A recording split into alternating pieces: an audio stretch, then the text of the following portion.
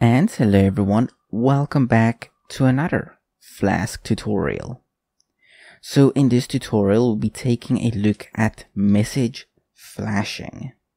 Now message flashing is when you want to display message to the user such as let's say they logged in successfully but you don't want to return an entire thing once you do it. You just want to flash them a message. You still want to continue with the function. For example, this index here. We know when we say return, it's going to return a template. Let's say you just want to flash the user message. You don't necessarily want to flash it here. You might want to do it before you get to this return statement.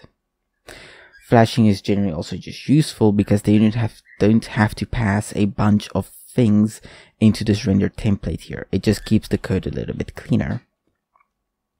For example, let's say here we have a logged in variable. And this logged in variable keeps track if the user is logged in. Then we can say if not logged in. So if the user has not logged in, want to display them a message saying, hey, you're not logged in. Maybe you want to go and log in. Then we can just import flash from flask.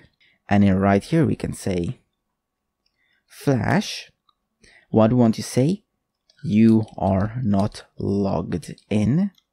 And then what type of flashing this is because a flashed message can have multiple types usually info or error or warning or success, but these are optional. You do not have to add these. These are just categories you can use if you want to style them.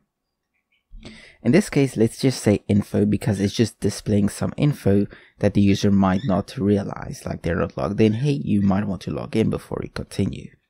Then let's go to our index HTML here and just clean up a bit. We don't need this if statement.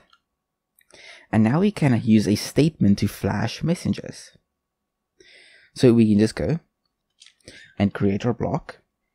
Then here we can say with, and this is an optional block, but I like to use it because it makes the typing a little bit less. Messages is equal to get flashed messages. And you can just say with categories is equal to true. And then you can add a category filter as well. So let's say you only want to get the error or the info messages from this flashed message. We can then say category filter and this will apply a filter. And we can say error. So we just want to get the error messages. Info. And this will allow us to get the error and info messages, but messages such as success or anything like that will not receive. Now this with statement here is just like the with statement you'd find in other languages as well. This right here, this whole piece of text, will all be converted into this messages. It's like putting something in a variable and then using it. But only within this statement. So only within this with statement will we be able to use this messages to reference this entire thing. And then we can of course just end our with. So end with. So everything south of this with can now be used. I'm just going to indent this to make it look a little bit easier to read. Now here we can check, do we have any messages that has been flashed? In creator block, if messages, and then we can just say end if, and this is optional. You could just use indexes to get this instead, but now we can also use a for loop to for through all of the messages we might have received since you can flash multiple messages at once.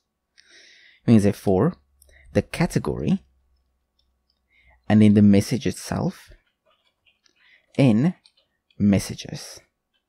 And of course this should be in brackets because this is Jinja. And then of course we have to end the for.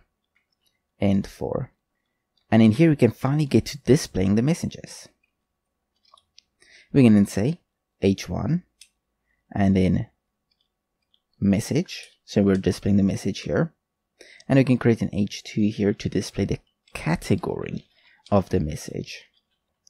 And if you save it, it's going to format stuff, but that's not a problem. Cool. So here we're saying with messages, which becomes this. So it's like you're storing this inside of a variable with the name messages. Otherwise, you'd have to go like this. And in here again, you'd have to go like this, which is just a little bit messy because you're typing a very long piece of string constantly. But if you do this, then it's just one word you have to type whenever you want to work with it. And here is just a regular Python for loop. We're getting the category, we're getting the message, and then we display it here. All right, now let's see how that looks if we go and we say frun and we go to look at our server. And we just need to set our secret key here again. So just app dot secret key. And we just say hush or whatever that is. It doesn't matter. Now when we have our secret key and we refresh there we go. You are not logged in and the category is info. If we flash another message here we say this is error. And we flash another one which says success. Uh, could not get cookies. And with success we can say you won $100. Now if we save this and we refresh, you see we get this error categories and the info categories. The reason for this is we ignored success, so we only get two of them. So right here, as you can see, only the error and info. If you included success here, it would display it as well. You can of course have multiple of the same category and it will just repeated basically. So if we go here and just make sure we notice it's different, we can just say could. And now if we refresh, we'll have both could and could not, and they're both of type category error. So this is basic flashing. It can of course be much more powerful if you like make a little pop-up or a little notification on the website instead. Thank you for watching. I hope you all enjoyed and I'll see you all again in the next Flask tutorial.